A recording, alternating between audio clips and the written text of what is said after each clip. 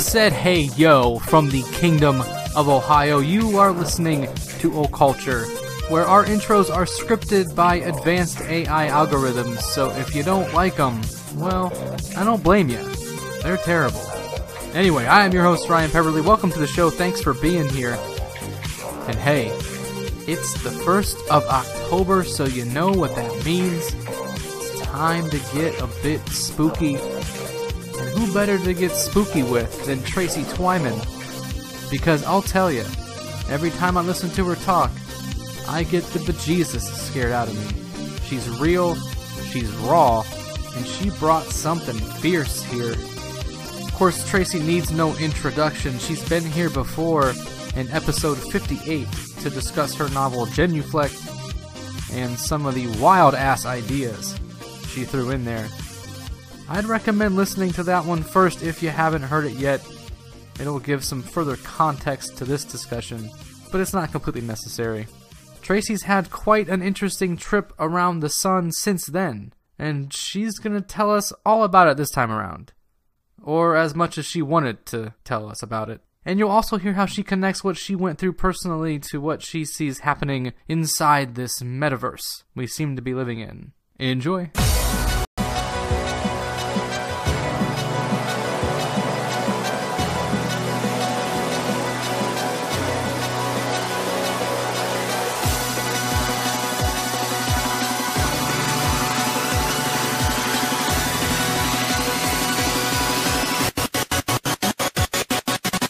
Tracy Twyman, welcome back to the program, or the D program as I like to call it. Thanks for being here.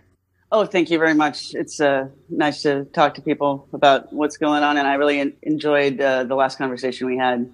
So I'm looking forward to this one. Yeah, yeah, I enjoyed it as well. Uh, we chatted at the end of last year about Genuflect and QAnon and hidden hyperspace kingdoms and all that good stuff. And it was that long ago? It was a year ago? It was wow. last maybe October, November ish. Yeah. Yeah. Okay, yeah, I remember that now. Wow, it mm-hmm. seems so so long ago because I mean, yeah, that was like right when QAnon got started, almost. I mean, it yeah, begun. it was shortly after that. It actually might have been December now that I think about it, but still, it was the end of last year sometime. So much has happened since then, huh?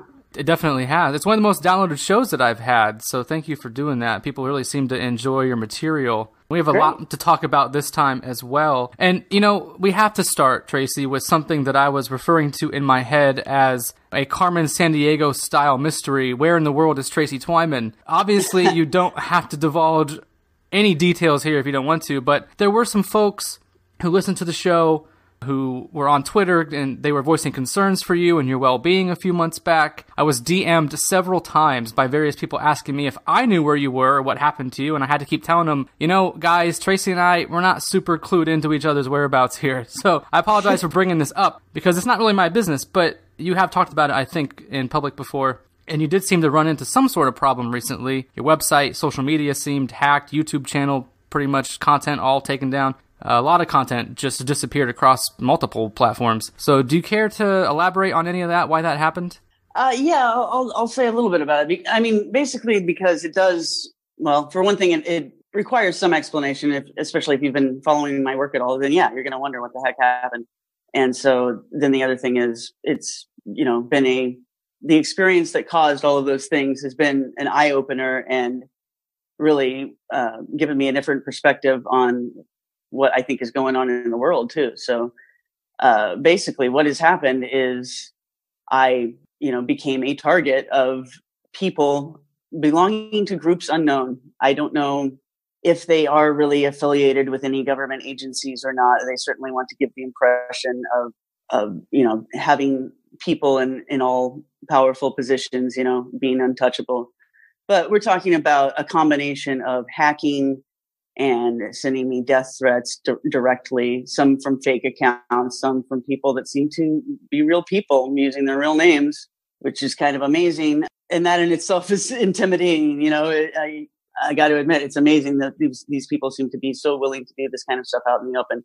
And just to kind of briefly summarize it, it uh, seems to have resulted from research I did at the beginning of the summer into some phenomenon on YouTube, kind of peripherally associated with the type of Elsagate videos that people have been talking about for the last couple of years, where you see kids videos and and strange codes on them. That's just one of the type of videos on this eh, what I would say is a larger a larger genre of I even call it a phenomenon. I mean, it's it is a phenomenon. It's not just a type of video on YouTube. It's a phenomenon because it's it has to do it ties together. The pattern I've found ties together several different types of peculiar videos that are on YouTube, as well as things that are actually popular music videos. I found a pattern, and uh, I immediately received a backlash for talking about that in public, which is strange because, of course, YouTube videos are in public so simply noticing a pattern and observing it and observing that it seems to have implications of nefarious activity by humans and uh, observing that YouTube seems to be just allowing this to happen. Well, anyway, so I, I received this attack seemingly as a result of that, but there are times when I wonder if uh, this was really just uh, something that a, a trap that w- that I was bound to stumble on one way or another. You know, so I don't know if it's really if the attacks are entirely all about the stuff that I found, or if that's just sort of a convenient storyline that they want to put around what seems to be very coordinated and sophisticated attacks on me. And it did, long story shorter, I guess I'm trying to shorten it, but it, it did result in me having to move my website to an, another host and I'm building it from scratch. I'm putting some of the old content up, but also just taking a new approach to it at the same time and trying to be a lot more careful about not only the way I run my business, the way I investigate things and and then what I choose to say about it in public and also who I associate with because one of the scariest things to come out of all this was several people that I actually had known for some time to varying degrees some of them in person friends real life friends that I'd known for years, and then some Facebook friends that I'd known for years revealing themselves to be people plotting against me. And uh, specifically came out after you know during in the midst of this attack as part of a coordinated effort. It, it's it's the kind of thing that sounds like the plot of a movie. And uh, i could only say that i've i'm describing exactly what has happened. And the more i look into not only current events but the past, history, things that have happened to other people, the more I realize that I'm really just the latest victim of a, a uh, style of harassment that has been used to silence and control people in the media, both in the big media and in the alternative media. This is how they've been doing it for decades. And as time goes on, they have more sophisticated ways of doing it. And I've been experiencing the most sophisticated AI uh, being used on me as part of this attack. But it's it's still all the tactics are really the same things they've been doing for decades. So you know, I'm not one to. I've never wanted to be one to say, "Oh, I'm under attack," and I'm you know I've been singled out. But it finally happened, and it did. It is undeniable at this point. So you know, now I know what these people who've told me all these horror stories about you know, being followed and harassed. I know what they are uh, going through. And man, I can see why so much of the media is controlled because if you do this to people, it, it does work to shut them up.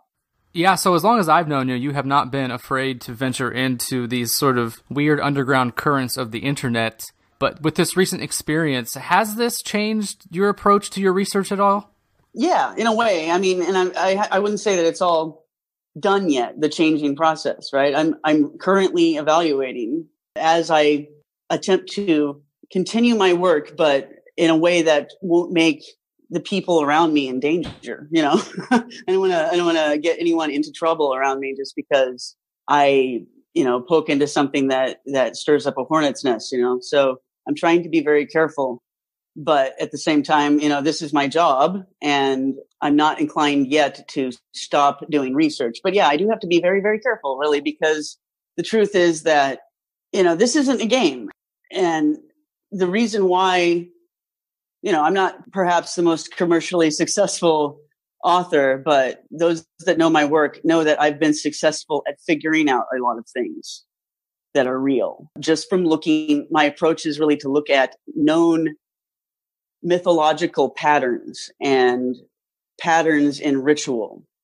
It's a kind of an anthropological approach, really. And then I look at history and current events from that lens. And that's really the same approach that I instinctively was using when I stumbled across this pattern.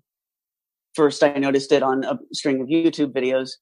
The thing is that, you know, I'm, I'm not making this stuff up. And when I find something real, it really, you know, I sometimes might not understand the importance of it until a- after I've written about it and let it have its effect on society, you know? So I may write about something that I think is just of academic import, you know, something that's just a, an interesting little historical fact that I've unearthed. And it turns out that that was something that people really didn't want anyone to know about. and, uh, I think that that's happened a few times here. You know, I it's not like this is the first time I've become aware of having enemies and even organized enemies, particularly among contemporary secret societies.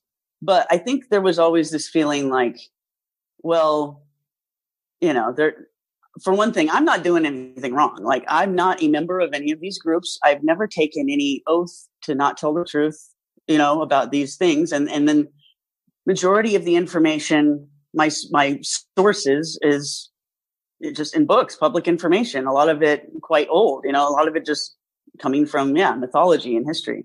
So it's not like I'm unearthing secret documents here most of the time with the work that I've done, you know, about European bloodlines and secret societies and occult symbols and and all this stuff.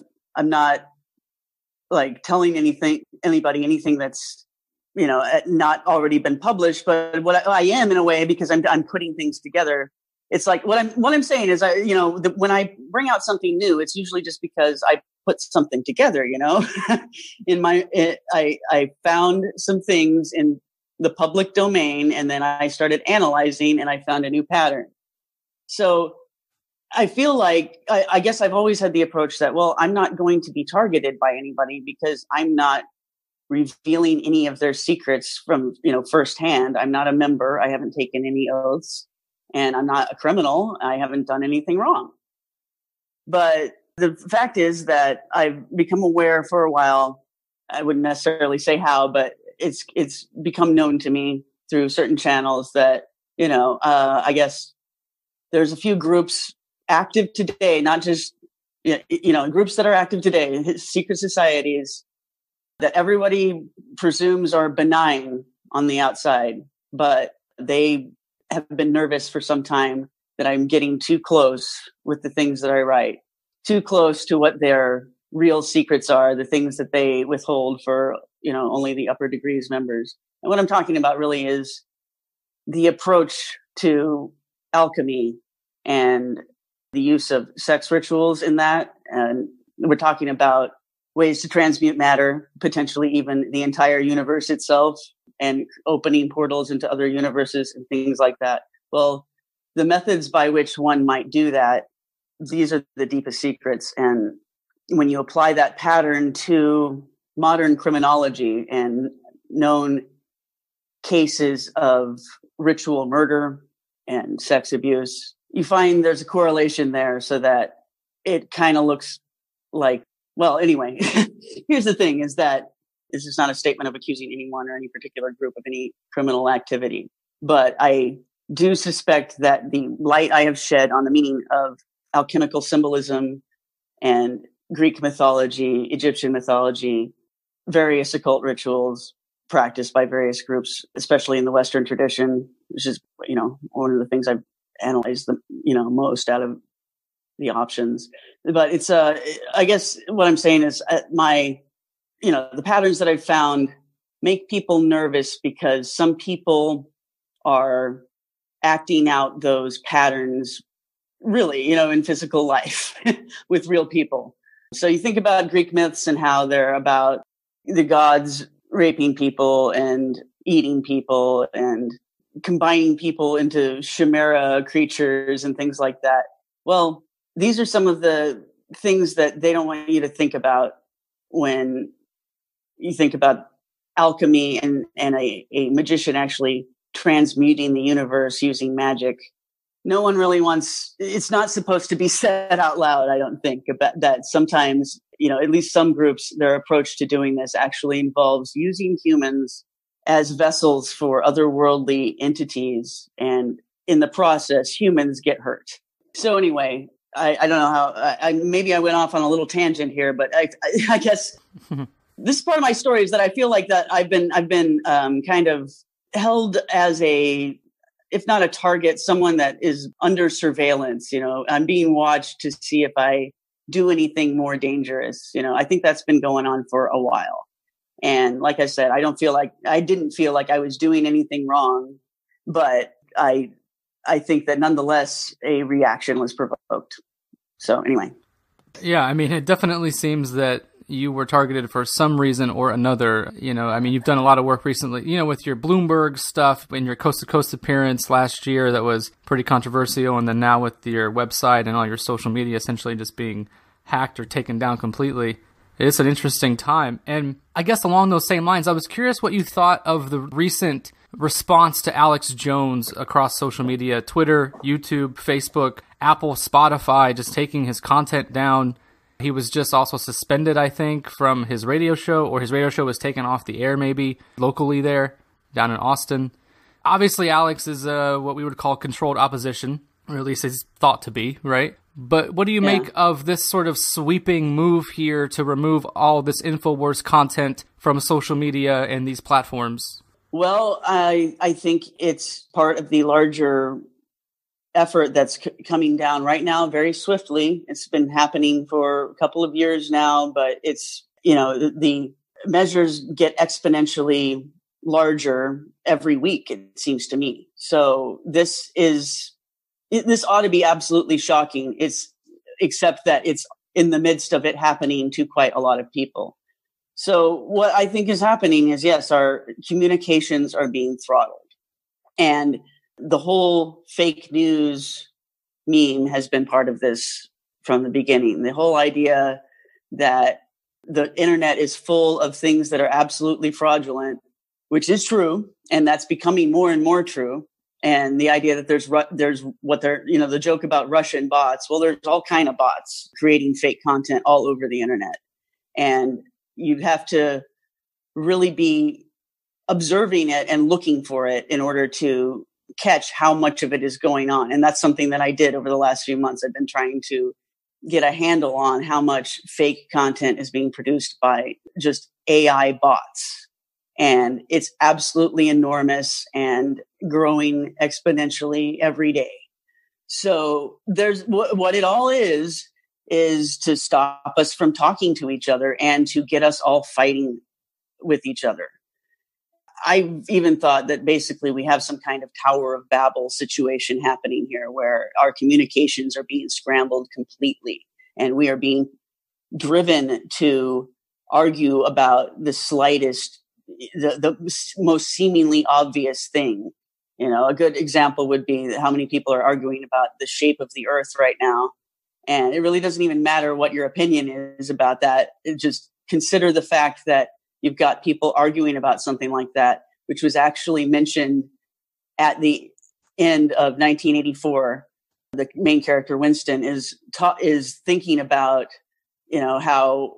Uh, actually, I think it was the other guy, the O'Brien guy. The bad the bad guy was, of course, telling him how they do everything at the end. You know, right before they wipe his mind, and he was saying, "Oh, that you know, we want it to get to the point where we can tell people the world is flat and they'll believe it without even asking any questions about it. Well, but first you get people arguing about it.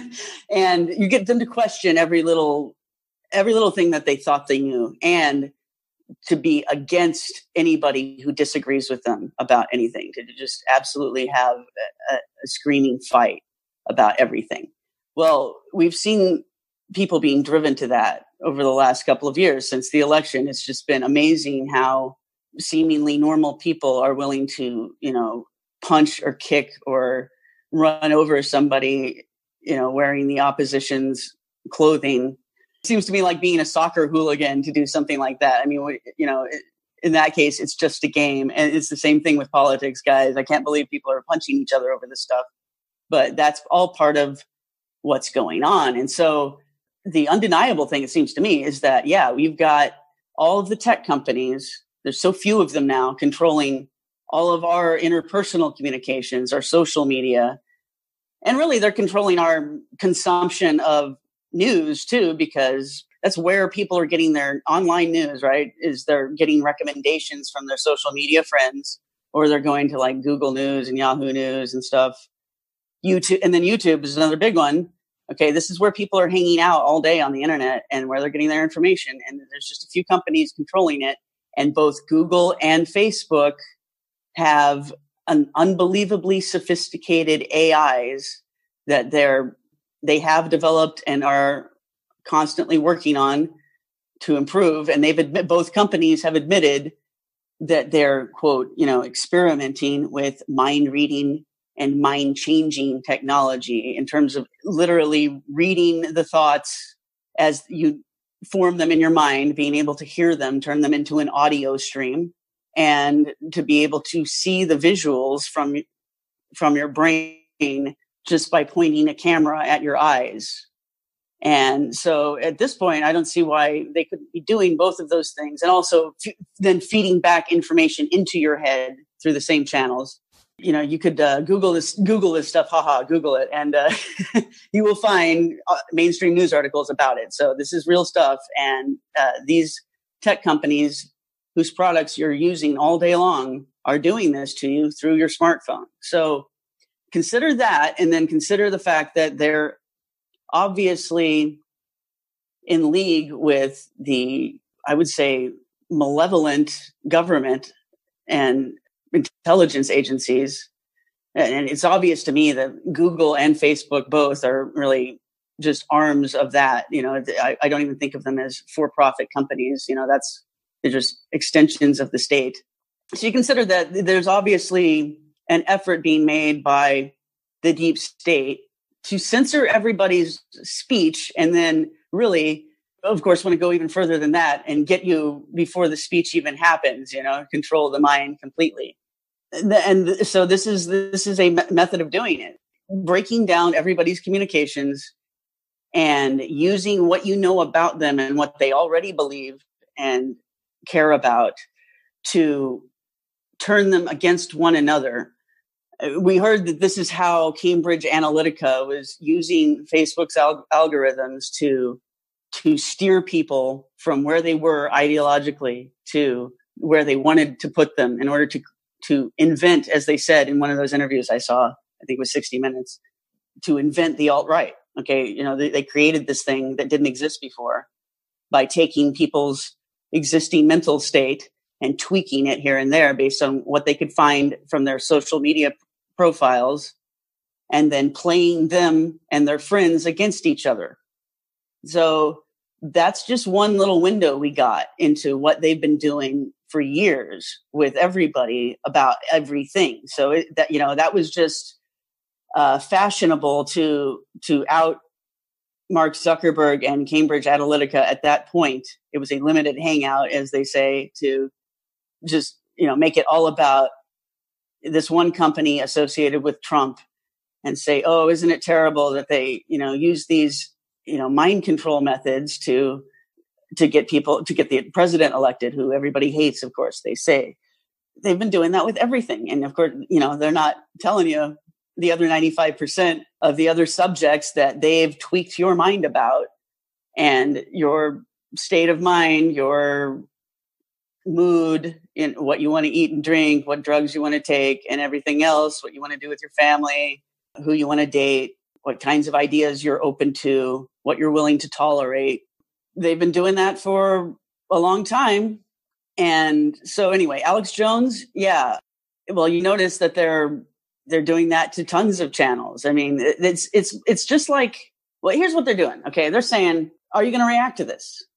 Because they did it to lots of other people that fewer people have heard of, but Alex Jones has began become, you know, the poster child for what whatever they're trying to create now. They're trying to act like, oh, there's this category of unacceptable speech that's now been broadened to be just whatever Google says. Okay. But it's like, you know, first they started with Holocaust denial decades ago and said, okay, this is a this is our little exception to free speech is you can't say anything about this one thing. For whatever reason, society accepted that. And then they then they added Muhammad cartoons and images of Muhammad onto that. And then a few years later, they tried to add climate change onto that. And then they tried to add Sandy Hook denial onto that. And that is how they're usually, when people are talking about what Alex Jones has done to deserve this, the mainstream media will talk about, know, he's one of the proponents of San, the Sandy Hook conspiracy theory. I think he did one interview about it, you know, and it's the same thing with his, his, uh, they also like to blame him for Pizzagate. And again, he did like one show about it, you know, so they're making an example out of him there's your answer is they're making an example out of him after they've already over the past two years gone and individually intimidated and scared the crap out of all of the smaller platforms and individuals people that have been you know researching and putting out alternative media about any subject that they actually care about I, I'm I'm willing to put a statement forward here that I think almost all of those voices have been silenced or corrupted at this point. So that is why they will now sacrifice Alex Jones. Okay. Because they've accomplished what they were going for. And the reason why you're actually hearing very little outcry at this point and more just snickering and jokes about his gay frog stuff is which wasn't a joke, by the way. You know, he was talking about something real with yeah. the gay frog uh, thing. But it's like, yeah, the, the reason why there's no real outcry anymore is because we all got used to it and the people that are the the voices that you would turn to they've all been beaten into submission almost all of them so i could at this point only maybe count on on one hand less than 5 people that I would say I still think haven't been corrupted and are still making alternative media. The rest, you know, I'm not going to name names, but I know for a fact, and it was really devastating to realize. I feel that at this point, I've seen the evidence that, like I was saying, I would say 95% of the alternative media voices have been corrupted. And I wouldn't necessarily blame them in a way. And it's not like I'm saying that these people sold out. Some of them did just sell out for money, but some of them also got, I think, intimidated.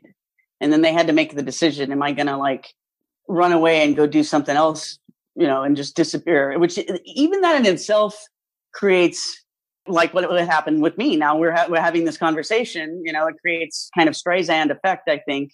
So the pressure might be on really to, for some of these people, especially if they have larger audiences. Someone might actually just come to them and say, directly. Like I think this is what happened with Jones when he uh, did. Remember the apology he did to Alefantis, where he looked mm-hmm. terrified. Yeah. Okay, so that was a case where I think he could have, it and he could have really done this at any point in the last few years, right? Just said, "Okay, I'm going to retire." And he could even, he, at, at, this point, he has a rapport with his audience. He could have just said, "I, I can't take the pressure anymore, and then the threats, and I'm going to retire and he can pay someone else to run his operation or or or close it down and he would probably have enough money to live for the rest of his life you know but i think and so that's what i would have done. See that's the thing like if i was in his position where it was obvious his family was being completely threatened that you know he, he had that option to quit. He, he he wouldn't have had to wonder if he was you know going to have an income. He would be fine. So i don't think that option was given to him. I think that he was told, you know, you have to keep keep on trucking there, uh, but it must be difficult then. After that, I can imagine, like once you've been threatened in that way, and then you even kind of wonder, well, what are the limits? What are the limits of what I'm allowed to say before I get a similar reaction again?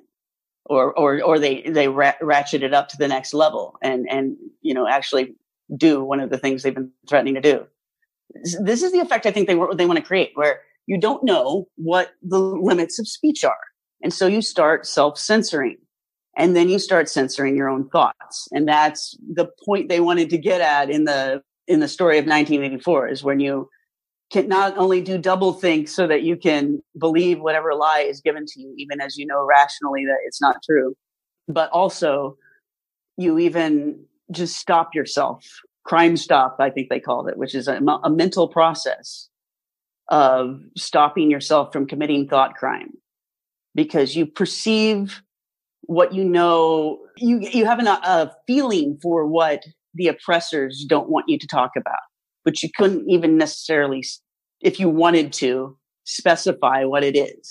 You just get a feeling for what the, the disallowed topics are.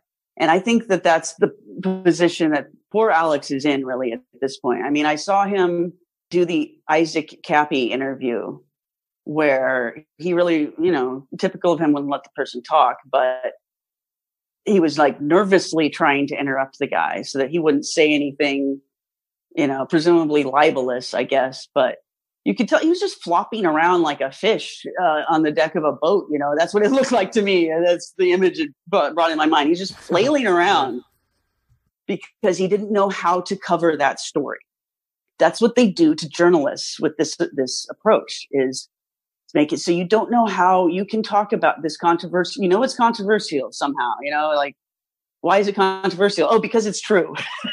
Or it's probably true. It's the type of thing that does happen that we're not allowed to talk about. So he gets nervous. He doesn't know what his masters want him to do. And they're not even it's not like they're paying him necessarily though they might be but they threatened him. And he knows that there's this invisible line he can't cross somewhere. I think there's just so many, you know, the, all the mainstream media is, uh, is in that position, but they actually they get a memo every day at you know four in the morning. They say uh, where they are told what to talk about, and we can see the results of that on TV. But as far as the the alternative media, they're flailing around like Alex trying to figure out what they're allowed to say, and you know, it's very easy to silence them too because Alex is really the only one that has an audience where someone would notice. Like almost everybody else could be disappeared and you just get, you know, people shrugging their shoulders. So that's the position I think we're in. It's a very, very dangerous position because I don't think that we can trust our communication system right now. I don't think we can even count on being able to talk to each other, you know, even our friends and family uh, in the near future. You know, I think that uh, it's it's it's kind of like we're in a war zone here. You know, you have to realize that they didn't put it in the newspaper that we're at war, but it's kind of like that because there's that level of restriction on communication right now, but nobody really announced it. It's invisible. It's it's an it's a unspecified term of service uh, list that you don't even nobody has the time to read and nobody knows how to interpret that's that's the speech code that we are all under right now. Yeah it's like that uh, one south park episode. Did you see that where they were the terms and conditions came back to essentially comically haunt the characters in there? Yes. So oh yeah it was like a it was kind of like the human centipede thing. Is that the yeah. episode? Yeah human centipede or something i think they called it. Anyways. Yes.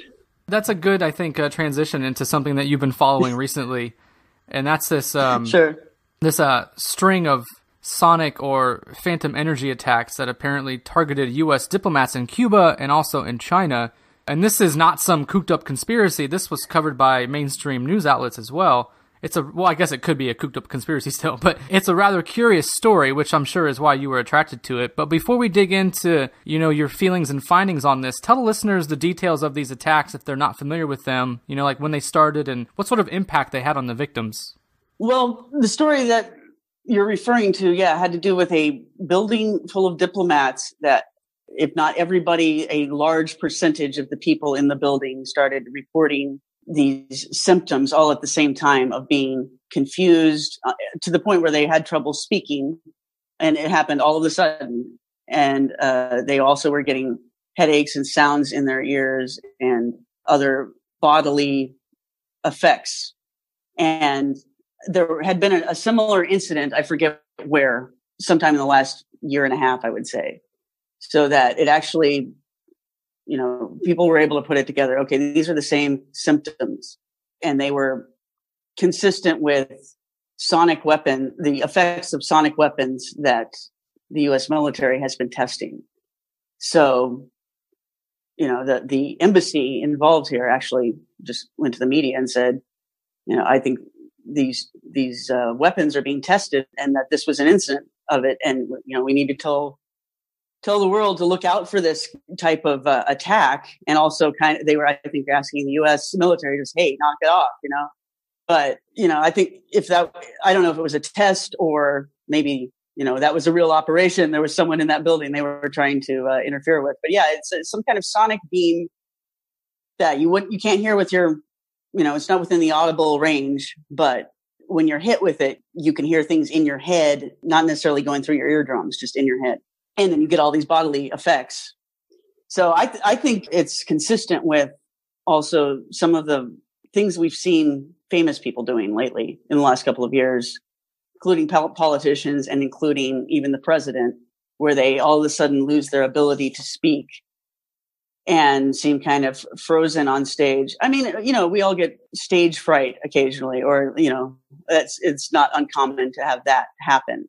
But in these instances that I'm talking about with, with the president and also Nancy Pelosi has been observed doing this. And then there's other sort of, you know, actors and musicians and other types of celebrities that have had these incidents on TV and stuff lately. But I think it's quite possible that we've just got uh, a state that is armed with all sorts of invisible weapons.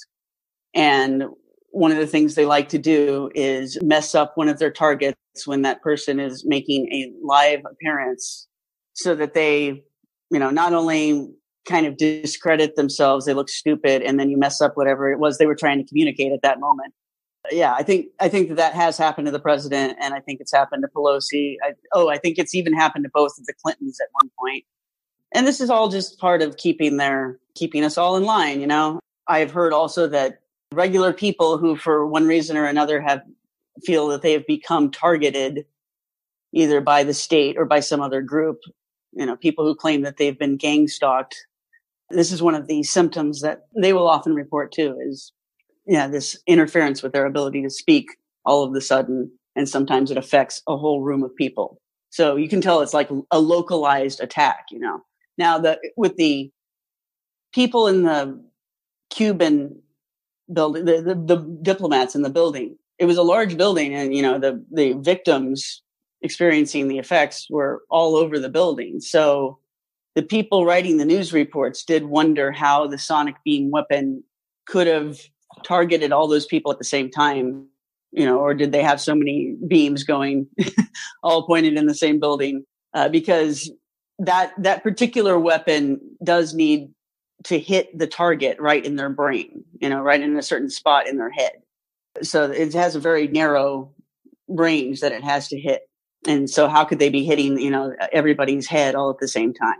But i've theorized that they could do this now probably just through the smartphone. I really don't see any reason why not. If you can just put out certain audio frequencies that will do this to people and in an office building probably you know half of the people have their phone near their head at any given time it would be effective you know you could interfere with an entire crowd of people for instance you know if they wanted to do targeted interference of protests or meetings that are happening this is seems like a great way to do it you know? Just basically hack into everybody's phones and they have these mobile vans where they can drive by an area and hack all of the phones that are within the range of you know like they got some kind of little satellite dish or something on top of the van and then they can just hack everybody within that range. So i don't see any reason why they couldn't be doing that. And wouldn't be testing it if nothing i think i think at this point you know, we're all, we're so used to talking about mind control stuff and testing, and we always say that. I don't think that I think they're way beyond testing at this point. And if it, to the extent that it seems like a test, it's because it seems capricious and like a prank almost. And there's a lot of times no real explanation for why the targets were hit. You know, it's hard to see what the pattern is. It's hard to see who is on what side, what the sides are, you know, and that's all intentional. It's all meant to confuse you and they want everybody to be against everybody. So this is it feeds right into what they're trying to do here. so yeah, I, they're not, it's beyond testing, and I would say the same.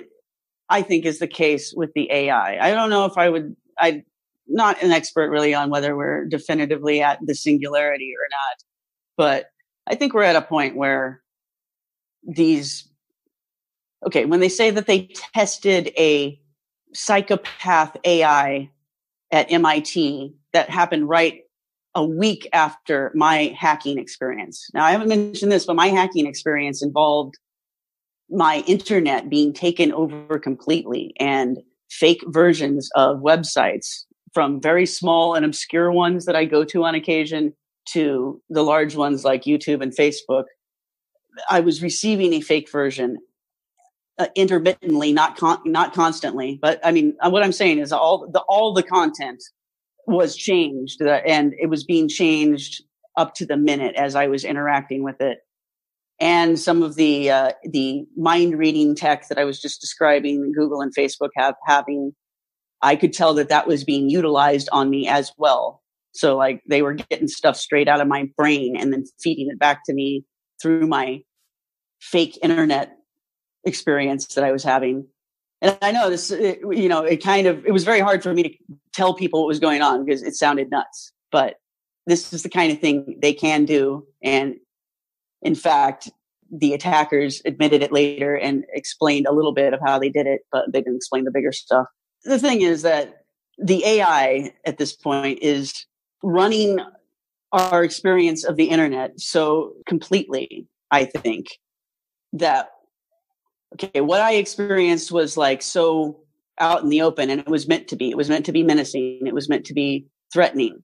So that's why it was over the top and undeniable.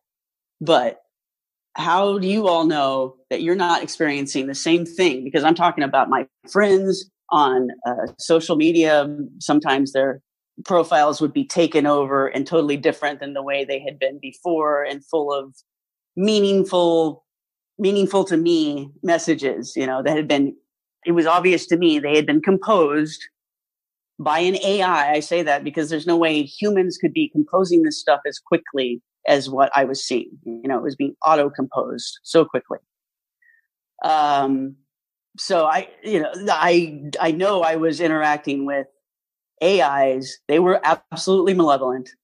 They were messing with me and they were able to intervene and put a fake version of any site that I might go to and on any device. So I'll tell you what, guys, how do you know that this isn't happening to you and hasn't been happening uh, on a less noticeable scale? and it could have been happening for at least the last two years, which is how long Facebook and Google have admitted their mind reading stuff.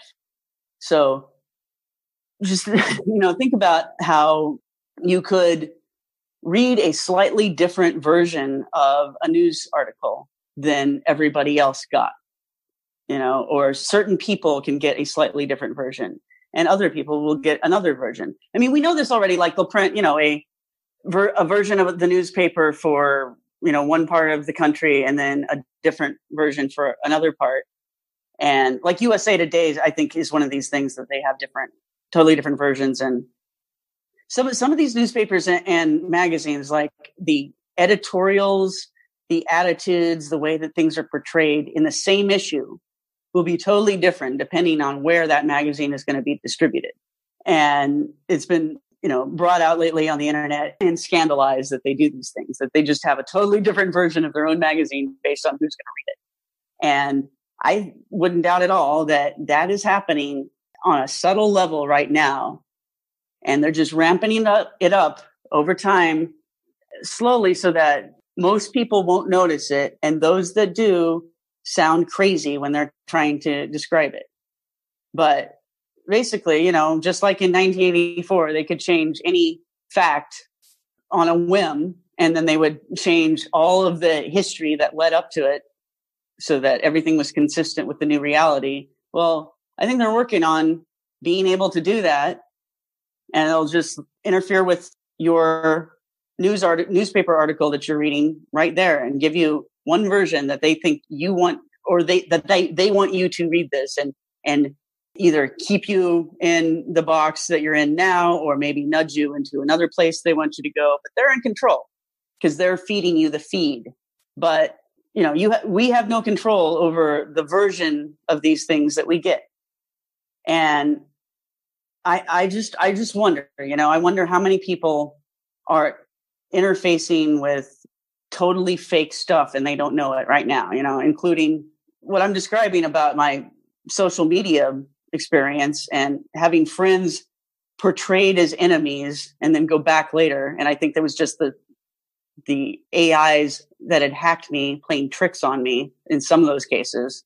So think about the effect that something like that could have on other people especially i brought this up before in other interviews like well, what if that happened to a depressed and lonely teenager when all of a sudden the friends that they have on on social media start attacking them and making fun of them and things like that? Well we've heard about stuff like this happening where you know a person a young person will commit suicide and we find out that they just had a mass falling out with all of their friends all at once for some reason.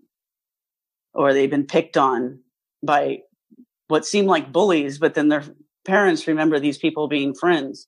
Well i mean really yeah. What if um that is all that was all the experimenting of something that I think that they have perfected now, which is just how to completely mess with someone's mind remotely and drive them to the ultimate without it laying a hand on them. I think that they can do that very easily. And when you look at some of the high profile suicides we've had lately, think about that in context with this. Like, could they do that to Anthony Bourdain or Kate Spade? Just you know, feeding them stuff to mess with their mind, make them think that everybody's against them, make them, and, you know, also you can do so much remote surveillance through, you know, if you can hack someone's phone, I mean, you can, you have a picture of them. So you could then taunt the person with whatever you derived, whatever, you know, whatever information you have from that. I wouldn't doubt at all if that's what's being done to so many celebrities and what's driving them to suicide. So I, I just think we're to- totally under attack by our own technology. And I think there's humans involved. I think even the machines are alive and intelligent and in many cases, unfortunately, malevolent. They don't like people. They want to do us harm. Yeah, it definitely appears that way. And, you know, part of your recent work, too, you were talking about how these sounds that, that these people were reporting being attacked by, I suppose, that they reminded some people of cicadas. And some YouTube users uh, even mentioned that the sound also reminded them of things that they'd heard in Japanese anime. But what I thought of when I heard that part was going back to the cicadas was cicada 3301. And then about 20 minutes later in that same video, you actually mentioned Cicada 3301. So I'm just curious what you think the connection here might be between these sounds and this Cicada 3301 mystery. You know, I don't, I don't, I hope that you know more about Cicada 3301 than I do because I only know a little bit. I just know that it's a puzzle that was made and kind of put out on 4chan years ago, I think in 2012 or something. Nobody knows who's behind it they're putting out clues that involve cryptography and also references to literature and mythology and even a reference to Aleister Crowley's works, which I think is probably the most significant detail there. So people have been thinking, uh, well, I guess the story the story is right. People were solving the clues that were fed to them through the mysterious accounts on 4chan, and then some of those clues would lead them to physical locations where there were other clues. And I, I, I think at least one of these people was successful at solving all of the clues that had been presented thus far. This was a couple of years ago. And then that person disappeared in a way that is thought by observers to be suspicious, either that they got recruited into the group that was putting out the clues or that something bad happened to them. You know, they followed the clues until they got kidnapped or something. And I think either of those is completely possible. more likely the latter, frankly. But others seemed the more common perception of this is that it's a recruiting tool for some organization, maybe the CIA or NSA or something, to find you know people who are good at cryptography and and solving puzzles, I guess. But it's been that phenomenon, which I guess continues to the present day because they've brought out other clues to keep the puzzle going over the years. And apparently there was another round of it this year. So people have, some people have connected it to other weird internet phenomenon, I guess, that have happened over the past few years.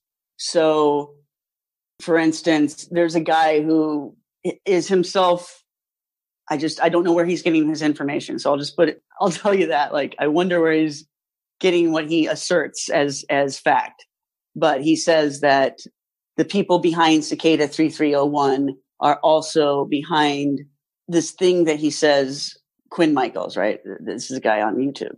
Uh, he says that there's some group that was part of the anonymous thing. And i think back in 2012 there was you know way more talk about anonymous. I've never understood it myself. Like how could anyone think this is actually a group you know? Uh, I, don't, I don't understand how uh, people come to these conclusions about what's a real you know opposition group and what isn't. And have something that actually calls itself anonymous. And the only thing they're known by is a, a guy fawkes mask. And then they're utterly inconsistent about every every video that comes out or proclamation they make. It's just all over the map. So i don't to me it doesn't seem like a a coherent you know con- cohesive group at all. It just it's an idea. It's not really a group. But that's my opinion. Anyway supposedly a subgroup of the anonymous movement that was associated with Aleister Crowley cults and you know be- therefore believe that that we're on the precipice of a new aeon and they're interested in sort of you know breaking down all of the societal norms whatnot.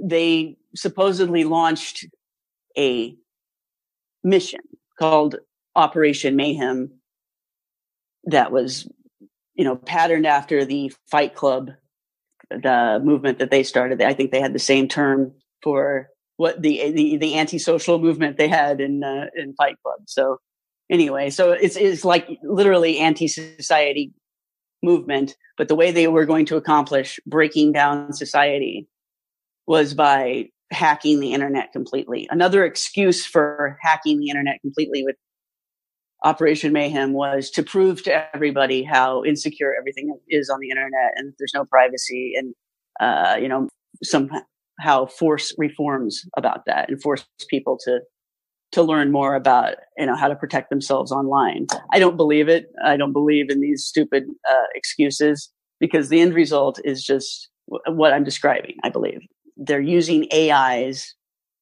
to hack everything on the internet and interfere with every communication and load the internet with all sorts of bullshit just to confuse everybody. And they think it's funny the way psychopathic teenagers that, you know, hack websites just to destroy people's lives because they think it's funny. Uh, is this the same attitude? You know, I, I, I have no admiration for it at all.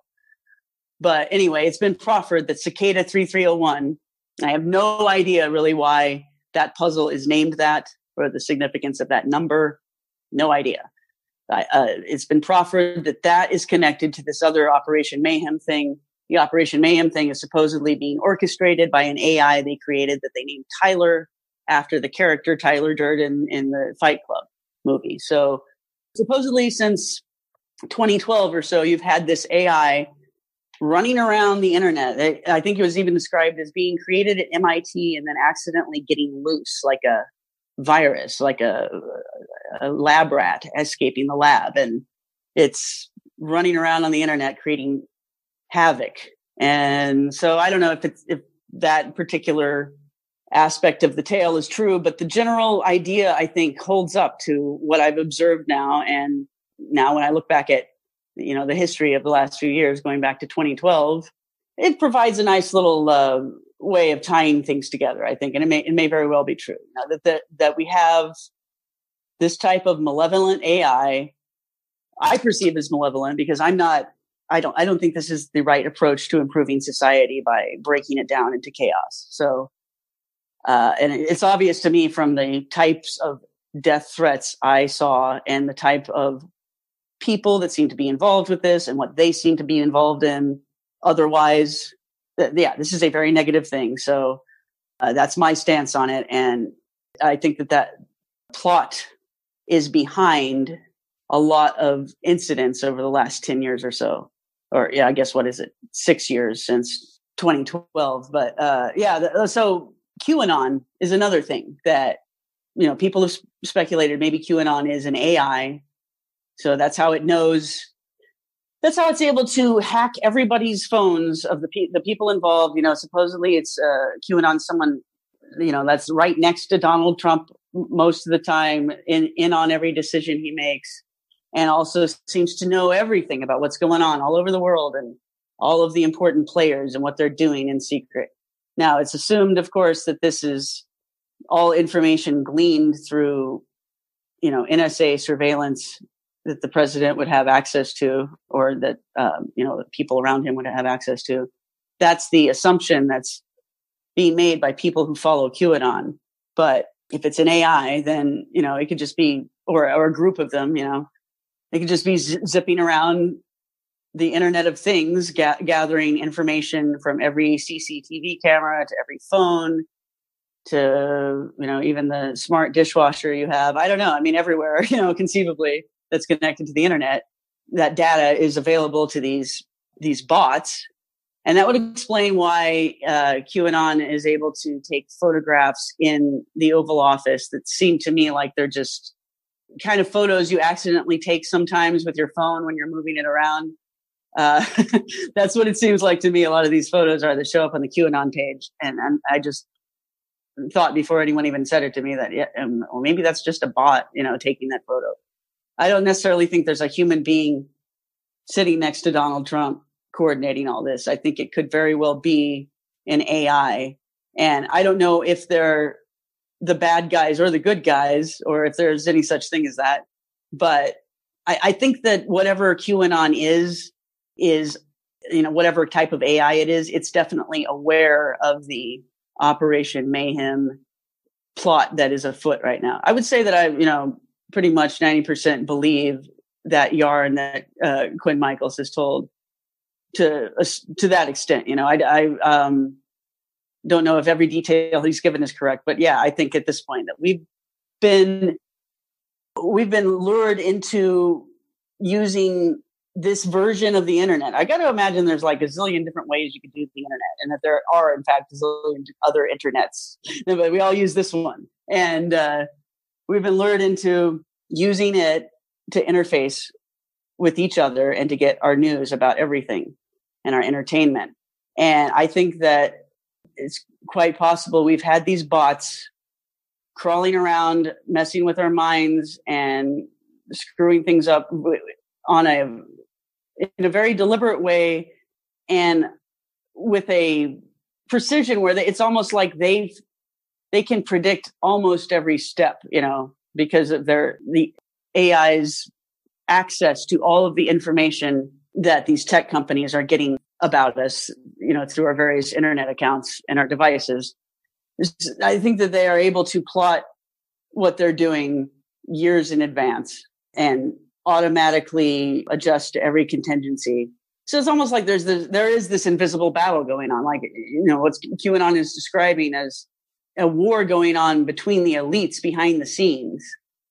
Uh, I think that their bots are very much fighting the war out for them just as much as uh, their foot soldiers on the ground too, you know. And some of these weird things that we've seen on the internet are part of it. So that includes, yeah, QAnon, maybe Cicada 3301, and also it's hard to describe because it's like I, you know, I would need to uh, get everyone to go through every step of decoding to make everyone understand how I arrived at this result. But a lot of the coded, bizarre videos that I've seen on on YouTube, in a way, it ties into. So it's like these AIs are sending messages to each other through videos that make no sense and a lot of times have numbers and letters and weird codes written on them and encoded within them. If you sometimes it's even embedded in the audio and you have to like decode that through a you can decode it into a visual picture or something sometimes. There's there's ways of doing that. I've run into a rash of these things and sometimes it looks like it's part of a joke or a larp and then sometimes it seems like it's not just that and uh, that there's there's ais talking to each other through these videos and they're even making threats and plotting murders with each other. It's, that's i guess that's the um, long and the short of it. That's what i think is going on. It could be uh, we've all been trained to think like okay whenever anything like that seems to be going on it's probably you know some some hackers idea of a joke. And you know no matter how intricate and sophisticated it is that's what people who know about these things tend to assume. And i can see why but you know at a certain point you got to wonder why you know and also some of the things they're joking about you know it ain't no joke and there's details that are real and uh, real people seem to get hurt and and go missing and things like that so it's uh it's complicated but basically i think that yes there's a real real hot war going on between the elites and perhaps they are using these machines these ais as part of that maybe they're hooked up with you know spiritual forces as well. I mean that's that almost goes without saying really. So every everything that we're seeing as apparent reality here you know at least the, the version we get from the internet and from the news from the media and from any type of manipulated or manipulatable communication we have to you know just consider that you know we we, all, we have to be skeptical about the information we're receiving and how we're being pushed around and nudged and our buttons are being pushed in very subtle ways because it's it is all part of a plot and what seems like a battle between forces but it's so impossible to tell what the different sides are. And of course you always have to leave in the possibility that there is just one one side and that all opposition is controlled. So that's what i think's going on yeah, I don't think anybody would disagree with that, to be honest, uh, just based on everything that I've experienced, and I think a lot of listeners have as well. Tracy, tell people where they can find you and your work online now. Sure, it's still tracytwyman.com. That's the place uh, you could always start at to get my stuff. And I might have different websites here and there, but that, that's always the main portal, tracytwyman.com. My website's called Plus Ultra. And uh, that's also kind of the name of the uh, premium content there if you want to join the membership and and get all the videos and all the audio. That's definitely encouraged and uh, you'll find lots of uh, amazing things there i think. I've, I've gotten good reviews so far from the stuff that's there because i tend i tend not to waste my time doing stuff that other people have done you know? I usually do really unique things so that's what you'll find there. TracyTwyman.com, T R A C Y T W Y M A N.com. Definitely. Thanks again for your time. Really appreciate it. Look forward to talking to you again sometime soon. Keep up the good work and keep fighting the good fight. Thank you very much. I appreciate it. Nice to be on.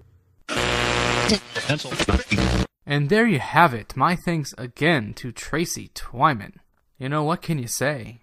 I mean, that's a wild and crazy story she told about what she's been through. Some of you saw it as it was happening in real time on the internet. I thought I owed it to those of you who asked me where she was or what happened to her to have her back in the house here, because I really had no idea myself. So there it is, straight from her. Make of it what you will. And as for the rest of what she said, you know, regarding the AI takeover and censorship, I don't think it takes much to see that in action. Now, how prevalent is it? I don't really know. But I have myself had some issues in those areas since I started the show here.